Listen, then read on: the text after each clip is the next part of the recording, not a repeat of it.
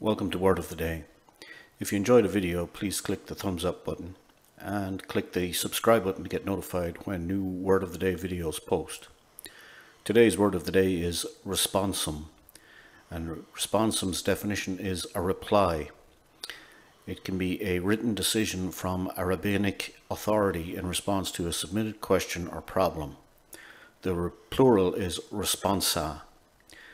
Um, basically, it's a collection of historical written decisions and rulings in religious law, and it's used in the three uh, major Abrahamic uh, religions.